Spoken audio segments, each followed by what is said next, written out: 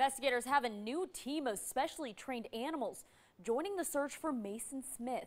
That's a St. George teenager who disappeared last September. Team coordinators say the animals don't have the physical limitations humans have. Their noses are more effective and they can move faster. You can be up on top of this horse to clear areas and you're just a lot, lot higher and a lot more visible. And if you read your horse, if you know how to read your horse, horse is going to tell you where the dead body is too, because they're, they're a fight or flight animal.